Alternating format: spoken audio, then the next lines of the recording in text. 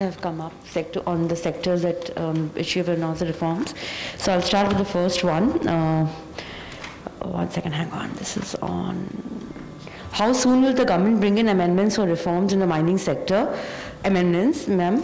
Will it be via ordinance? When are they going to conduct? Uh, when is when is the uh, conduct of the first commercial coal mining auction likely? And ma'am, similarly on the defense side. Uh, uh, on defense FDI, access to modern technology is a condition for defense FDI above 49%. Now that FDI cap is being increased, will the condition of access to modern technology done away with for FDI up to 74%? These two questions, and ma'am, ma one broad question also uh, that's doing the rounds. Uh, people are asking that, you know, uh, what about the demand side measures uh, to, con to contain the COVID pandemic, ma'am, the after effects? Thank you, ma'am.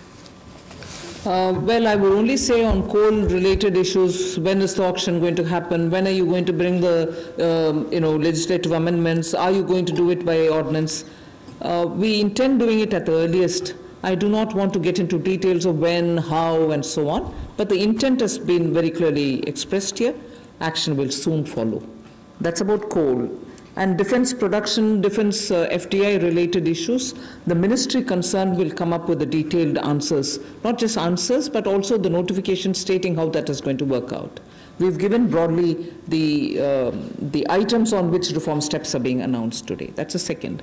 And third, uh, you said demand related COVID by putting money in the hands of the people by also creating environment through which investment and restoring the MSMEs to get back to doing business as soon as the lock, lockdown uh, either gives partly some kind of a protocol through which they can get back to business, we hope that people will get back to doing something and earn their living.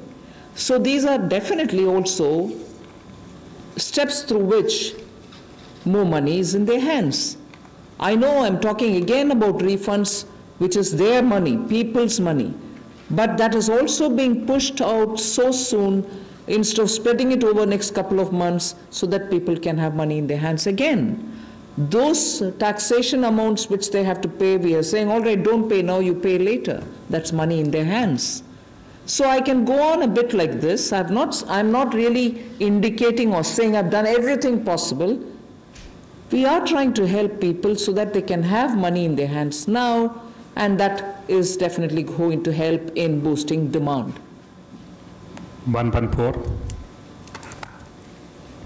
No, Madam, Namaskar.